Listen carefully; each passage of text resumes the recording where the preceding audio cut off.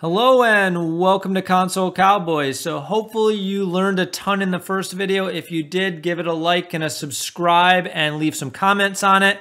Also follow me on Twitter below. Now we did a bunch of stuff in that video, but we're gonna continue on in here and utilize the functionality within this bank contract. So what didn't we do? Well, we didn't send value to this contract using the deposit function. So we need to make a transaction that we sign because in this, we're gonna take value out of our local wallet and we need to be able to sign that in order to send those funds out to a smart contract. Otherwise, it's not gonna send them. Now, we already learned how to sign transactions in the last video, but it's gonna be a little different. So in this one, we just created a transaction object and we added all the stuff in there that we need. But this time, we're not just blindly sending it to another address. We're calling a function on a smart contract that accepts the value and then does things with it. So we need to actually access that function when we send the value, not just create an object and send it to an address. Hopefully that makes sense. So here's what we're gonna do now. We are going to create a transaction object, but we're going to call that function. So we need to set up our first and second account again so we can utilize these variables. So let's say first account. Let's just set up all those variables that we need and we'll need the private key just like last time. So I'm just gonna change these places where we were grabbing those values already and just make them into our variables. And that is why it's great to be able to grab these. So now that we have these, let's also create a variable for the second account's private key because we're gonna send value with our second account to our account on that bank. So we'll say second account, and we'll call this underscore PRIV again, equals, and what does this equal? It equals what is in our ganache here. So we're gonna go to the second account and we're gonna grab our private key so we can sign our transactions with it. Because like I said, if you're sending value out of your wallet, you need to sign a transaction or it's not gonna work. So now that we have those values, we can hop down and create a transaction. But like I said, it's gonna be a little different. We're no longer just simply creating this object like this and sending it. We need to call a function and create an object within that. So how do we do that? We're gonna make a variable here and we're gonna name it deposit ETH.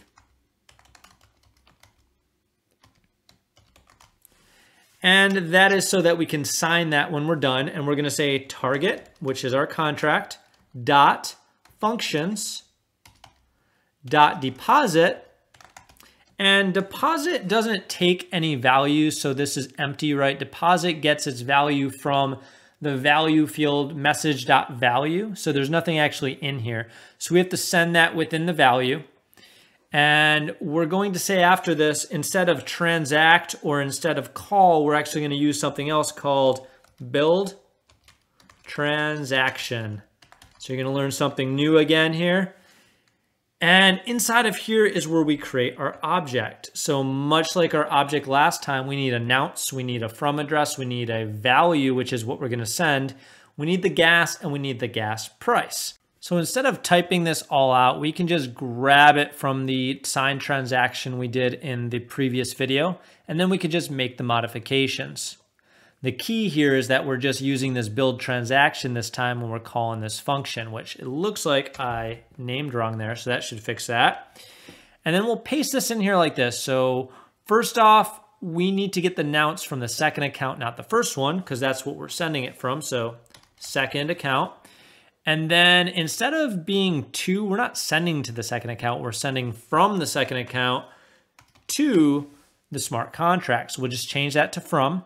And let's just do two Ether this time. And the rest of this should be good to go.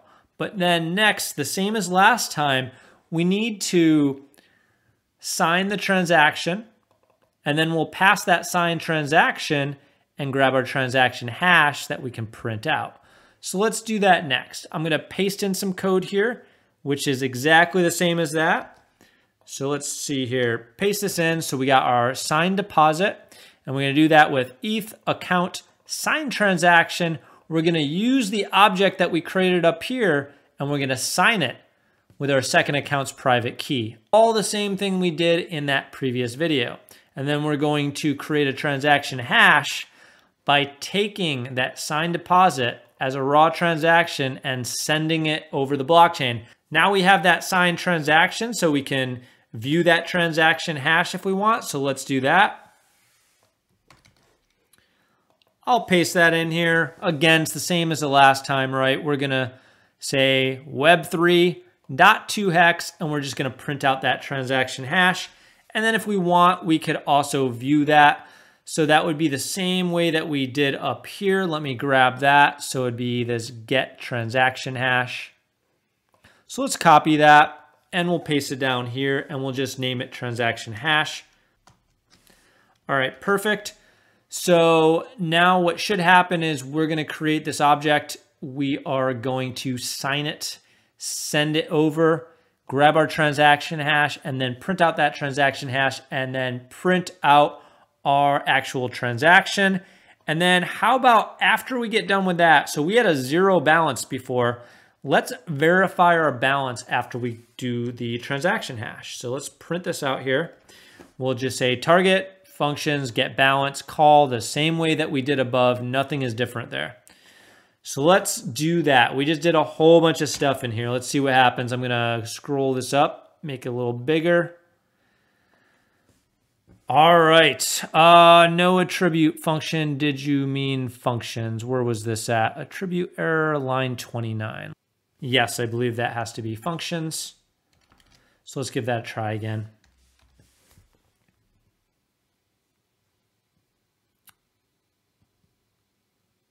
Okay, perfect. This all looks good. So here's what happened. We went back again, we printed out our variable in storage, and then we sent that transaction to change it, but it was already test. So now it's just test again. And then we grabbed our balance, which was zero, right? Once we grabbed our balance, we signed a transaction, we got the transaction hash, we printed out our transaction, and this should show a value right here of 2 ether, right? 2 with 18 zeros after it. So that's correct. And then what we did is we printed out our new value from the contract with our get balance function. So that's all working. We now have a balance on our smart contract of 2 ether. So the only other function really to test out that we would have access to, um, because we're not the owner, would be our withdraw. So how do we withdraw out of this account? Well, withdraw is going to require us to sign a transaction. But the difference with withdraw versus the deposit is now we have to do a build transaction transaction, but we also need to send a parameter when we do it. So how do we do that? Well, let's hop back in and set this up. So what I'm going to do is I'm going to paste in some code, which will be easy to understand based on what we just did, and then I'll explain it. But there's not much new here, just adding a parameter. So here is what we did. So we said our variable is going to be withdraw ETH. And again, we're going to call our target contract with functions dot withdraw.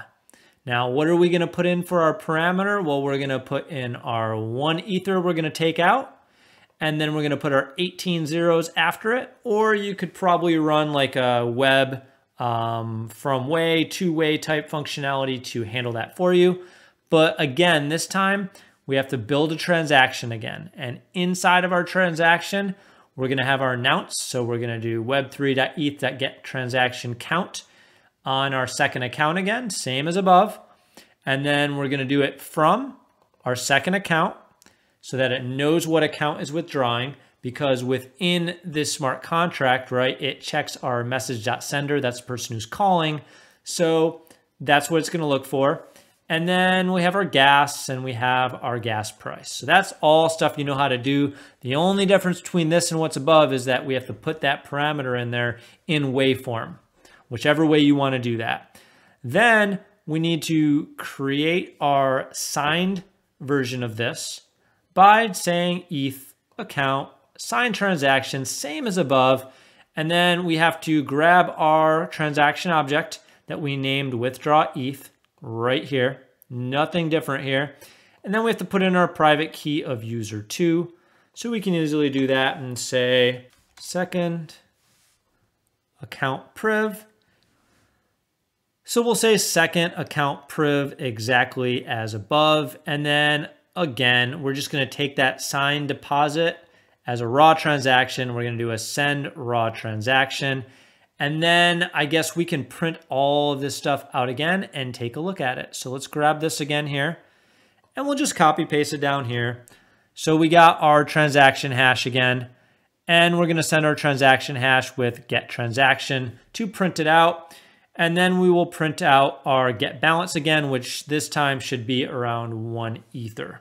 We should also see one ether being sent within our transaction. So let's do this. And I'll scroll this sucker up. Let's see what we got. So we have our initial two ether, and then we're sending a new deposit now of a value of two ether again, which gives us four ether in the account. And now we run our withdraw function. So here is the transaction hash for that. Now there won't be a value in it this time because we're not sending any value to the contract. We're pulling it out, which I believe should be within this input field if you decoded it. But it leaves us with three ether because we had four in there and we took one out. You did a ton of stuff in this video, and let me tell you, this one took a long time to put together because it was hard to find this information. Most of it was me just piecing things together, playing around and making it work, so you're gonna learn from my pain. But to recap, what we did is we learned how to pull memory out of the smart contract, out of the storage blocks that you shouldn't have access to. We also learned how to send a transact this time instead of just a call with a variable. And then we learned how to create a new kind of transaction where we have to build that transaction using a function on the blockchain. Followed by, we learned how to do the withdraw, which we also had to build that transaction with the function, but then we had to send our value with it. And then we also learned how to do a call or do a call again because we already did that in the Chainlink contract. But just to show you that all the stuff that we're doing is exactly the same you would do on the mainnet because I always get people crying saying, oh, show us how to do it on the mainnet. It's exactly the same. You just set it up locally so that way you didn't have to spend a bunch of money while you were testing. Same thing, so don't cry about it. Instead, just give me a like, a comment, and a subscribe for hopefully teaching you a whole bunch of stuff here. I had fun. I learned a ton putting this stuff together. So now in the next video, we are going to probably drop into a deep dive and learn a little bit more about contract storage memory while it's still fresh in your brain. That way you get that extra understanding. And then we will take a look at um, how to subscribe to events because if you look in here, we have a emit of an event for when we're depositing. So how do we monitor that if we want to monitor contracts that have events in case maybe we're building a web page or we are monitoring something sensitive we found. So we'll show how to do that with some async IO programming. So that'll be fun. And then what else do we have? Oh yes, before the next video, I want you to look at this contract and just tell me what's fishy about it just from a perspective of functionality that really should not be in here and why. And we'll go over why that is and then do a quick demo about why it's bad. So I will catch you in the next video. Hopefully you learned a ton. I learned a ton making it. So have a great night.